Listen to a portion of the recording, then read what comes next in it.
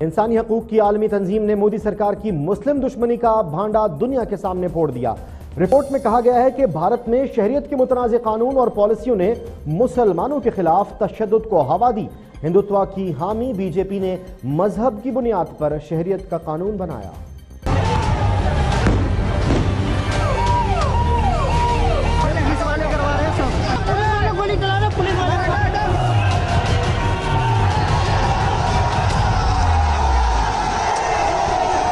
انسانی حقوق کی عالمی تنظیم کی بیاسی صفحات پر مشتمل رپورٹ شور دی ٹریٹرز نے مودی سرکار کی مسلم دشمنی کا بھانڈا دنیا کے سامنے پھوڑ دیا ہے۔ رپورٹ میں پانچ نوجوانوں کو سڑک کنارے لٹا کر بھارتی ترانہ پڑھنے اور ان پر تشدد کا ذکر بھی کیا گیا ہے۔ عالمی تنظیم کے مطابق بھارتی دارالحکومت میں تین روزہ فرقہ وارانہ تشدد میں باون مسلمانوں کو بے دردی سے قتل اور دو سو سے زائد کو زخمی کیا گیا۔ ہندو جتھوں نے پراپرٹی کو بھی شدید نقصان پہنچایا۔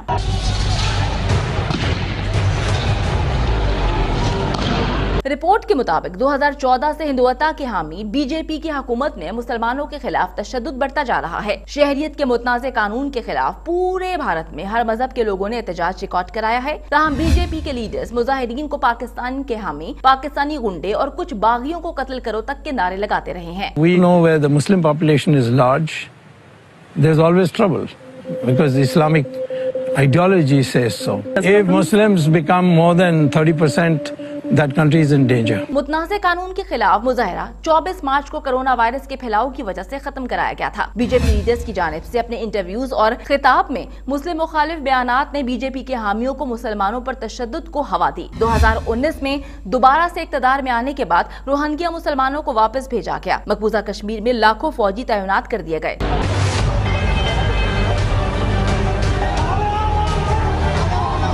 رپورٹ کے مطابق مسلمانوں پر تشدد کرنے والے انتہا پسندوں کو بھارتی پولیس نے بھی کھلی چھوٹ دے رکھی ہے۔ امریکہ، یورپی یونین اور اقوام متحدہ نے بھی مودی حکومت کو امتیازی پالیسیوں کو ختم کرنے کا مطالبہ کیا ہے۔ بھارت کو کرونا کی وجہ سے شہریت کی تصدیق کے منصوبے کو غیر معینہ مدت کے لیے ملتوی کرنا پڑا ہے۔